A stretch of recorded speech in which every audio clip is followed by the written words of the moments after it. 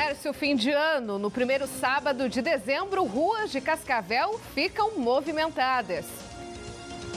Fim de uma novela. Nova sede do CISOP é inaugurada em Cascavel, porém atendimentos só começam em janeiro. Em Foz do Iguaçu, nove leitos SUS de UTI pediátrica e neonatal estão em funcionamento. E ainda na fronteira, Gramadão da Vila será reaberto hoje com uma extensa programação de Natal. Bem-vindos! O Jornal Tarobá está no ar.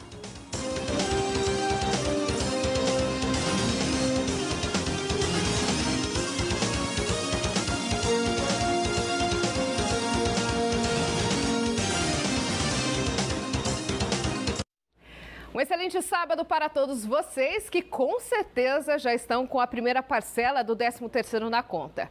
E eu quero saber, vai comprar presentes, guardar, pagar contas? Em Cascavel teve gente que escolheu a primeira opção e correu para o centro da cidade. A Fernanda Toiga acompanhou o movimento mais cedo e conta agora pra gente. Oi, Fê, boa tarde para você. Boa tarde, Dani. Boa tarde a todos. É isso mesmo. O centro de Cascavel estava muito movimentado nesta manhã. Eu e o repórter cinematográfico Flávio Frison estivemos cedinho passeando ali, conferindo esse movimento na Avenida Brasil. E é um cenário bem diferente do que nós tínhamos nesse mesmo período no ano passado, né? Muitas pessoas já se antecipando, fazendo compras de Natal, justamente pelo que você falou, recebimento do 13º salário, que faz aí essa injeção de recursos na economia felizes dos comerciantes, né, que estavam sim com essa expectativa otimista, estão inclusive contratando funcionários aí para dar conta é, dessa demanda. A projeção esperada é de um aumento de 14% nas vendas. Então, para quem está procurando emprego, essa também é a hora da oportunidade. E a outra novidade é a respeito da segurança. A Polícia Militar já reforçou o efetivo né, no centro de Cascavel, também nos bairros mas a partir do dia 13 de dezembro nós teremos aí o horário estendido no comércio. E por isso, então, esse policiamento, a questão da segurança, será reforçada ainda mais. Sobre isso, nós conversamos com o presidente do Conseg, aqui em Cascavel, Clóvis Petrocelli.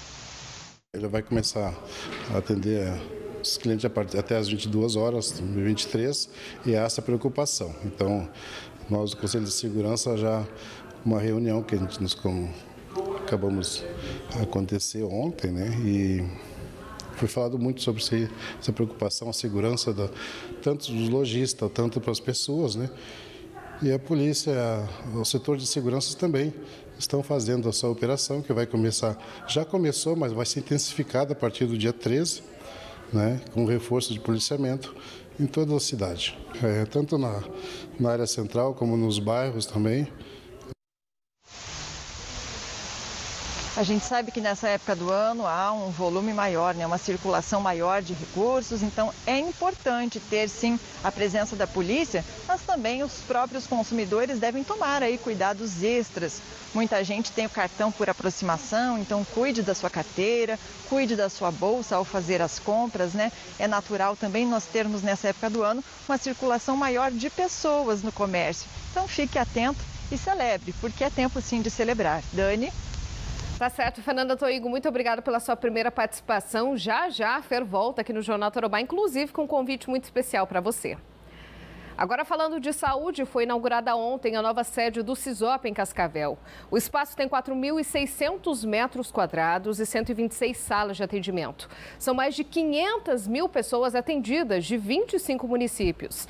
A unidade conta com atendimento materno-infantil, anfiteatro de 200 lugares, um centro de distribuição de medicamentos e consultórios para a realização de pequenos procedimentos ortopédicos e dermatológicos, além de cirurgias plásticas, intervenções odontológicas e o chamado ambulatório de feridos. A obra é uma conquista para a região e foi feita a passos lentos. A primeira etapa do CISOP começou em abril de 2014, mas em julho de 2016, a empresa abandonou a construção ainda na fundação. Em 21 de junho de 2018, uma nova ordem de serviço foi assinada até o fim da construção, que aconteceu nesse ano é uma necessidade dos municípios que muitas vezes tinham que rodar muitos quilômetros para a pessoa poder fazer uma consulta, um atendimento médico de um especialista, de um cardiologista, né, de um ortopedista. Simboliza a nossa resistência, persistência, necessidade e a união de municípios e governo do estado para apresentar essa solução. Dentro das 17 às 21 horas, né? É um, é um planejamento que eu acredito que nós vamos conseguir já implantar nesse próximo ano. Hoje nós estamos atendendo, nas instalações que temos, mil pessoas dia, em torno disso. Aqui já vai passar para 1.500 pessoas dia e nós vamos chegar a 3 mil pessoas dia. Só lembrando você de casa que, apesar de ter sido inaugurado ontem, o atendimento às pessoas, ao público, aos pacientes, só começa no dia 3 de janeiro. E ainda falando em saúde, Foz do Iguaçu conta agora com cinco novos leitos de UTI pediátrica e quatro novos leitos de UTI neonatal. Os novos leitos já estão em funcionamento e atendem a população pelo SUS, em parceria com o Hospital Ministro Costa Cavalcante. E atenção, você que passa pelo viaduto Olindo Periolo, em Cascavel. Fique atento. A partir de segunda-feira tem mudanças por lá e quem nos conta é Fernanda Toico. É isso aí, a semana já começa com intervenção no trânsito aqui na região do bairro Veneza, em função das obras, né, das alças do viaduto Olindo Periolo. E por isso é importante redobrar a atenção. Preste atenção como ficará o fluxo por aqui. O motorista que transita pela Rua Áustria, no sentido bairro Veneza, irá acessar o desvio para a Rua Guilherme Serioli, que neste período de obras passará a ter mão dupla na quadra próxima ao viaduto. O vídeo mostra exatamente como tudo deve ficar. E quando a obra desta rotatória atingir 80%, previsto para o início de janeiro, a operação será feita no sentido inverso. Importante sim redobrar a atenção, o local estará todo sinalizado e aqui o limite de velocidade será de 40 km por hora. A previsão é que a obra rotatória toda, né, 100%, seja liberada no final de janeiro de 2022. De Cascavel, Fernanda Toigo. E nós falamos ontem no Jornal Tarobá que no próximo dia 18 terá uma audiência pública em Cascavel para debater o novo modelo do transporte público da cidade. Em Foz do Iguaçu, uma pesquisa online já está acontecendo. Vinícius Machado vem para a tela do Jornal Tarobá e conta como o morador pode participar. Afinal, esse transporte coletivo de Foz precisa de uma atenção, né, Vinícius? Boa tarde para você não só precisa de uma atenção, mas também essa pesquisa já está na reta final, viu, Dani? Boa tarde para você, boa tarde a todos ligados no Jornal Tarobá de sábado. Olha, tem mais uma semana ainda, então a população pode participar ativamente nessa pesquisa online. É bem rapidinho, é só ir lá no site da Prefeitura, tem um link onde você vai poder fazer todo o processo, ou você também pode baixar o aplicativo 156 Foz. Lá também você faz o cadastro na sua loja de aplicativo, você baixa o aplicativo, faz o cadastro e responde as perguntas. É super rapidinho, em questão de três minutos. Você vai responder perguntas relacionadas à qualidade do transporte, o número da frota de ônibus no transporte coletivo, o, a cordialidade dos motoristas, a limpeza, a segurança e também é, as condições do terminal de transporte urbano. E essas informações também vão ajudar o município a traçar um perfil do usuário do transporte coletivo de Foz. Por que, que essas pessoas usam o transporte coletivo? Quando começaram a usar? E até aquelas pessoas que deixaram de usar. Por que deixaram de usar? Adquiriram carro, moto, bicicleta ou estão usando aplicativo? Tudo isso faz bastante diferença. E paralelo a isso, a gente também está acompanhando de perto a situação da quebra do contrato com as empresas que compõem o consórcio Sorriso aqui em Foz do Iguaçu.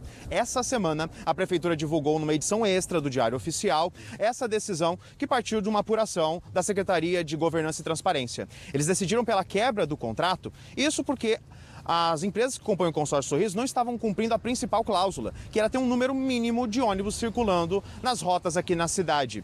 Diante disso, a prefeitura deu um prazo de 10 dias para que as empresas se manifestem junto à justiça e também vai exigir que essa frota seja empregada para poder manter a prestação de serviço normalmente até que seja feita uma nova licitação. A gente tentou entrar em contato aqui com a empresa que as empresas que fazem parte do consórcio Sorriso, mas até o momento não tivemos resposta. E vamos continuar acompanhando os próximos capítulos dessa novela que promete ter muita, muita emoção ainda para a gente poder acompanhar, viu, Dani? Volto contigo aí no estúdio. São anos de emoção, né, Vinícius Machado? Muito obrigada pela sua primeira participação aqui com a gente. Daqui a pouco você volta na tela do Jornal Torobá. E moradores de São Pedro do Iguaçu, cidade que fica a cerca de 70 quilômetros de Cascavel, foram surpreendidos pela ação de criminosos durante a madrugada. Ladrões fortemente armados estouraram uma agência bancária da cidade. Inclusive, você acompanhou no programa Tempo Quente ainda há pouco. Ainda não se sabe se dinheiro foi levado. Policiais militares de toda a região estão na cidade um esquadrão antibomba de Curitiba também foi chamado. A Polícia Militar deve se pronunciar oficialmente sobre o fato e os desdobramentos você acompanha lá no nosso portal tarobanews.com. Indo agora para o sudoeste do Paraná, 10 novas motos foram entregues para a Polícia Militar de Francisco Beltrão. A equipe Rocan é responsável pelo atendimento da maioria das ocorrências da cidade. E os equipamentos chegam para suprir uma demanda muito importante. Em todo o estado do Paraná, são 354 novas motos que são destinadas aos batalhões da Polícia Militar. Aqui para Francisco Beltrão, no 21º Batalhão, são 10 novas motos. São do modelo BMW F850, uma cilindrada superior àquelas que a Polícia Militar tem à disposição para combater o crime aqui na cidade e também na região. Essas motos que estão vindo, elas vêm em boa hora nós estávamos com uma frota de motocicletas com mais de seis anos, então a, a manutenção já estava se tornando bastante onerosa ao Estado. E essas motos vêm é, é, um modelo atual, modelo moderno. Isso motiva os nossos policiais a trabalharem cada vez mais.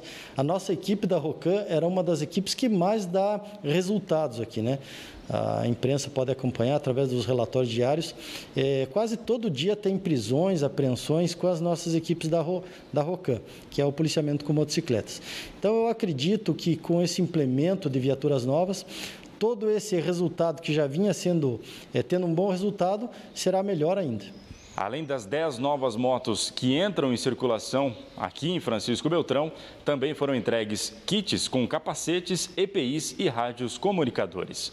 Com informações de Francisco Beltrão, Everton Leite. E a seguir tem a previsão do tempo para o fim de semana e também um convite muito especial para você que é de Cascavel e região. Imagens ao vivo do Lago Municipal de Cascavel. Eu volto já.